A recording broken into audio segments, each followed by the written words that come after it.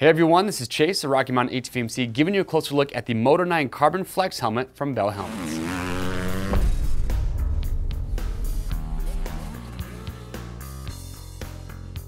All right, today we are giving you a closer look at the Moto 9 Carbon Flex coming from Bell Helmets. This is the premium helmet in their lineup.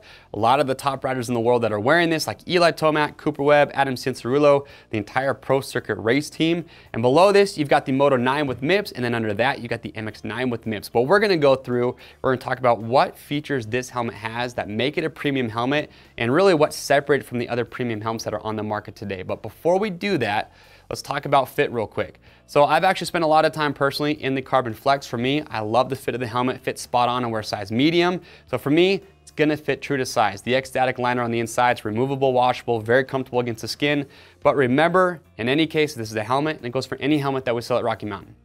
If you are not happy with the sizing or the fit, send it back to us in brand new unused condition. We wanna make sure you get the size and the fit that you are looking for, and that is why we give you free shipping both ways on your first exchange. And another cool feature about the Bell that I'll talk about is their segmented liner. So the segmented liner, that's gonna be with their EPS liners on the inside. So you'll see that the way they're cut helps give a more adaptive fit depending on the size of the rider's head and the shape. Everyone's got a different shaped head. So their segmented liners are just gonna be adaptive. That way it's gonna fit good no matter what size shape head you have.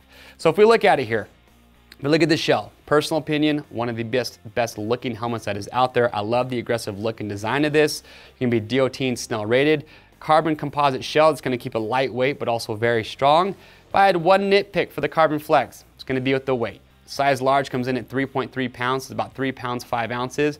It's not necessarily a heavy helmet, but when you do compare it to some of the other premium helmets that are out now, there's a lot of helmet manufacturers that have their premium helmet in a size large coming in right about three pounds. So it would be cool to see Bell do some revisions on the Carbon Flex. It's already a solid helmet, and I think if they could just lighten it up just a little bit, Man, that would be freaking awesome. But in any case, let's talk about venting. So here in the front, you're gonna have plenty of it. You got your mouth guard here, you're gonna have vents coming in there, you got a couple vents here on the chin bar. As you look underneath here, right on top of the eye port, you've got some vents here that are actually brow vents that are gonna help force air down into the eye port area. You're also gonna notice, show you right here, you've got these big vents right here on the sides. I like these because those are taking a lot of air, pushing it through the helmet. And then up here underneath the visor, you can see you've got a couple more vents there. Again, pulling air through. And then if you look at the back, when it comes to the exhaust vents, you got one up here on the top. You have several more here on the back. Again, taking that hot air, getting it out the back of the helmet. I talked about that segmented liner. We'll show you here in a little bit, but having those cutouts in the liner and the channels that you have also really gonna help get that air through the helmet to help this thing breathe, especially in those hotter temperatures. So that's your venting design. When it comes to the visor, it is going to be adjustable. Something kind of unique that Bell doesn't do is they do not have a center screw here on the visor. Instead, you're gonna have one screw on each side, but I actually really like their screws. You have these little flip up screws. So if you wanna adjust the visor, you just pop those up, just loosen it. Gonna loosen up the visor, so very easy to adjust. And then you just tighten these back down. So I like how easy those screws are to use. So that's gonna be your visor scheme. Now, that's the outside. Let's take a look at the inside here. So, a couple of features right off the bat that I love about this helmet. They might not seem like a big deal, but I love them. You look at the neck strap here, the chin strap. So your traditional D-ring, but here's what I love. You have a magnet here on the end of your strap and it just pops right on. Super easy to use. That way, if you have gloves on, if you're kind of in a rush, you're putting it on, you're not trying to find an extra snap up here on the top of that strap, you just plug it in with the magnet, super easy to do. So I love that feature. And if we undo this strap, you're gonna have emergency cheek pad removal system. So it's called their MagneFusion cheek pads. Check this out. That's how easy it was to pop out a cheek pad. So you see you have these magnets here on the back, you have magnets inside the helmet. So to pop it back in, literally, took me about a half a second. So I love that feature that way. When you're pulling the cheek pads out, putting them back in, very simple to do. So again, you can take these out, you can wash them, and put them back in the helmet. You're gonna have it nice and fresh and clean for your next ride. So those are your two cheek pads. And then you're gonna get to your comfort liner. I'll pull this out.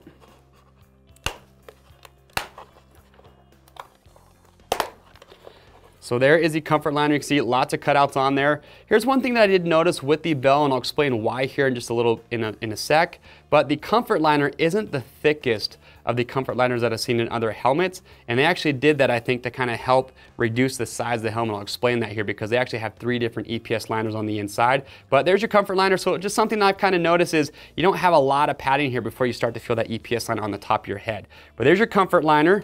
You'll notice you're gonna be eject helmet removal ready. So if you're not familiar with that system, it does not come included with the helmet, but we do sell it on our website.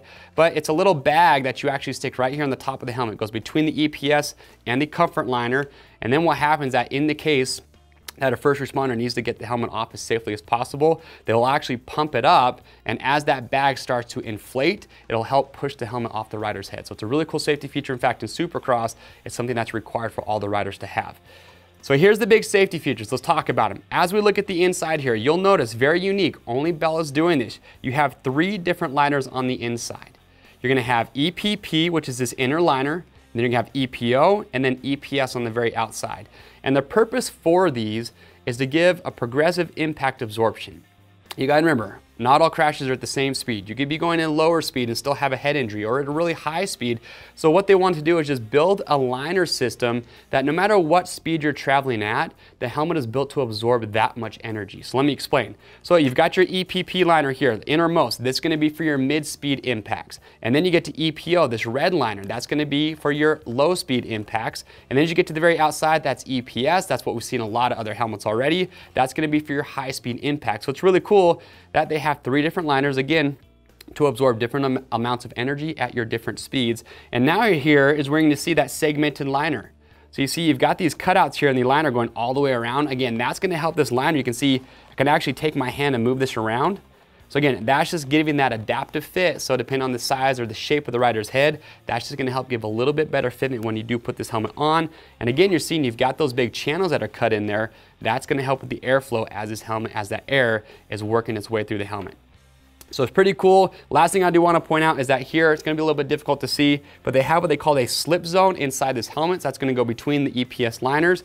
And that slip zone, if you're familiar with MIPS, multi-directional impact protection system, same concept. So in those rotational crashes, so you remember, not all crashes are straight up and down. You're going to be moving forward or back or side to side. So they want that liner to be able to slip or rotate just a little bit inside the helmet to mitigate those forces. So you have that little slip zone that is built in, again, to help combat those. And you know what else I love about this helmet? With all the features we just talked about, you get a five-year warranty coming from Bell.